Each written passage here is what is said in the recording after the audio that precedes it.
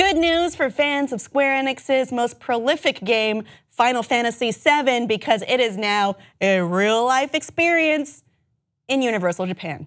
Universal Cool Japan. Universal Studio Japan に Final Fantasy の世界がついにあの美しさが現実に Final Fantasy XR ライド What? The part when Sephiroth's face comes so you know some people are going to be like this. Uh, which, I'm sorry, okay? I've hung out in a lot of fan fiction groups. Look away. And I would understand that kind of thing happening. That looks like so much fun. So there is a whole section of the park, or a small section of the park at least, dedicated to this. It is called the Final Fantasy XR Ride. It is a revamped version of Space Fantasy, the ride, uh, with immersive Final Fantasy footage, which is.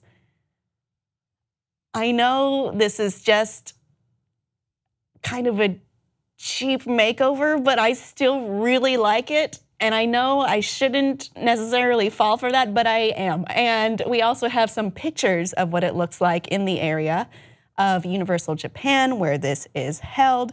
There are lots of foods and a lot of cactuars. And I didn't realize before how much a cactuar looks like a swastika. So maybe redesign that one.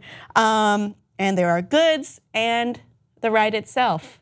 Bring it to Universal Hollywood so I can try it. But we're also waiting for the Nintendo Land and Universal Hollywood. Uh, I think video games are a great way to go if we are doing a park ostensibly about entertainment because the video game industry is it's far surpassed the movie industry. And as much as I love movies, I haven't seen that much real life stuff outside of E3 that I can interact with that reminds me of my favorite games and my favorite kind of narrative experience. Sorry, movies.